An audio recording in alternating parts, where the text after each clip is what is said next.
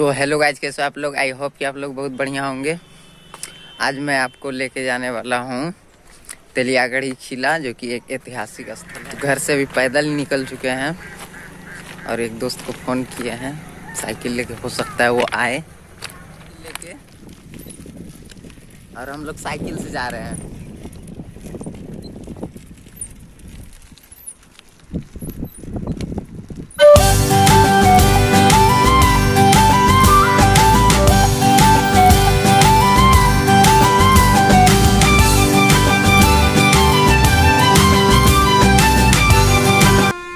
किला का निर्माण हिंदू शाहू राजा ने पंद्रहवीं शताब्दी में बनवाया था। सोलहवीं शताब्दी में बंगाल के मुगल शासक जलाल ने शाहू राजा को परास्त कर इस किले पर आधिपत्य स्थापित किया। जलाल ने इस किले को दुर्ग का स्वरूप दिया। बंगाल पर किसी भी आक्रमण को रोकने के लिए यहाँ सेना की एक टुकड़ा हमेशा प्राचीन बंगाल में प्रवेश करने के लिए यही द्वार था। राजमहल की पहाड़ी के रास्ते सेना के आने जाने का भी रास्ता यहीं से था। भारतीय वास्तुकला का बेजोड़ नमूना है तेलियागढ़ी किला। आप देख सकते हैं, पहले के जमाने में कितना समृद्ध था। सल्तनत व मुगल काल में बंगाल का प्रवेश द्वार हुआ करता था। पहाड़ियों से भरपूर इस क्षेत्र का नाम इतिहास में अंकित है। गेटवे ऑफ़ बंगाल के नाम से मशहूर था तेलियागढ़ी किला। तंत्र की लापरवाही के कारण धरोहर खत्म हो रही है। पूरा टूट टूट के बिखर रहा है, कोई ध्यान ही नहीं दे रहा है। जो ये बताता है कि अतीत में हमारा भवन निर्माण का ज्ञान कितना समृद्ध था। इस किले में जगह जगह मेहरबान मेहरबान इसकी गौरव गाथा सुनाते हैं। देखिए, आपको मेहरबान दिखाने की कोशिश करते हैं। देखिए, एक ये है और एक ये है। जंगल हो गया है काफ़ी सारा, लेकिन इसमें हम घुस के, ये देखिए मेहरबान। ये है। इसी टाइप का छः सात आठ मेहरबान है। जो कि जंगल हो चुका है अभी। सेतु और चूना का मिश्रण से ईंटों की ऐसी जुड़ाई की गई है, जो कि आज के जमाने का इंजीनियर भी फेल है। सैकड़ों वर्ष बाद भी मजबूती इसकी बया करती है। कितना मज़बूत जुड़ाई हुआ है। महान सम्राट चंद्रगुप्त मौर्य के शासनकाल में यवन राजदूत मेगास्थनीज ने अपनी पुस्तक इंडिका में गंगा से सटे पहाड़ी के काले पत्थरों से ईट व निर्मित किले का उल्लेख किया है, जो कि अब तेलियागढ़ी किला के नाम से प्रसिद्ध है।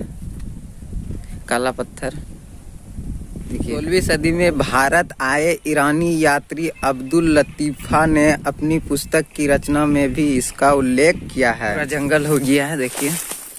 अठारहवीं सदी में भारत आए इधर से गुजरे फ्रांसीसिक बुकानन ने अपनी रचनाओं में बड़े क्षेत्र का स्थिति बताया है जो कि अभी छोटे स्वरूप में दिखता है। विभिन्न विदेशी यात्री ने जो इस किले के बारे में लिखा है, उस समय यह किला काफ़ी महत्वपूर्ण रहा होगा। सल्तनत व मुगल काल में बंगाल का प्रवेश द्वार हुआ करता था। पहाड़ियों से भरपूर इस क्षेत्र का नाम इतिहास में अंकित है। गेटवे ऑफ़ बंगाल के नाम से मशहूर था तेलियागढ़ी किला। तंत्र की लापरवाही के कारण धरोहर खत्म हो रही है। पूरा टूट टूट के बिखर रहा है कोई ध्यान ही नहीं दे रहा है। ये देखिए ये गुफा वाली सीन है।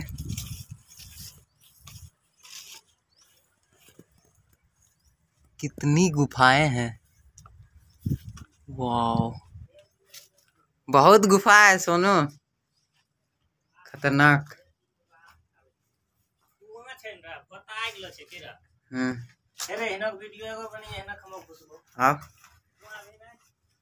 वीडियो ऑन हाँ। है।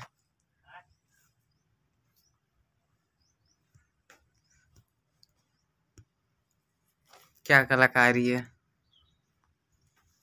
इसमें हर गुफा में कुछ ना कुछ है। यदि क्या है? भीतर पूरा गुफा है।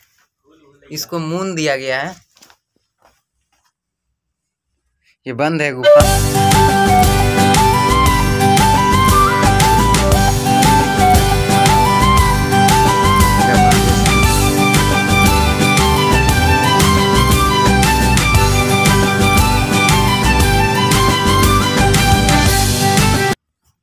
नहीं है। बहुत शानदार लग रहा है देखने में।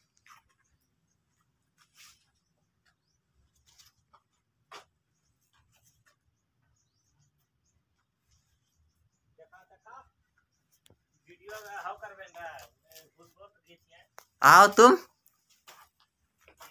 आओ। देखिए, मेरा दोस्त आ रहा है।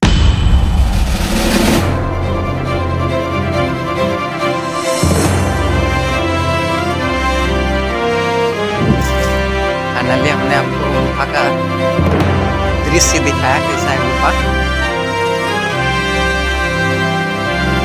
ये जो पीछे अब नया बना है, दो हज़ार नौ, दस में ये बना है। चार दीवारी करवाया गया था, लेकिन जो है ये है, पुराना। इधर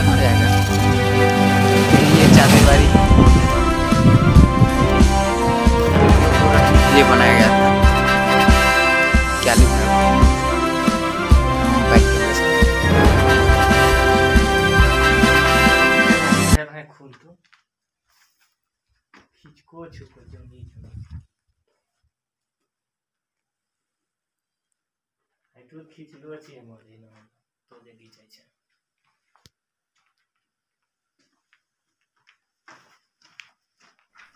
आज मानवीय क्रियाकलाप और शासन की अनदेखी से हमारी धरोहर जो है कि नष्ट हो रहा है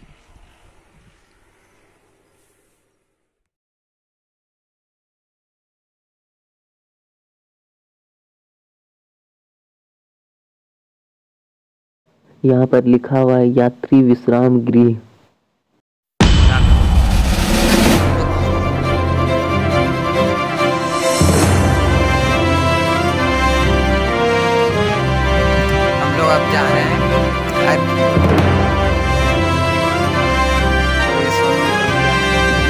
तो गाइस यहाँ तक देखने के लिए आपको दिल से धन्यवाद।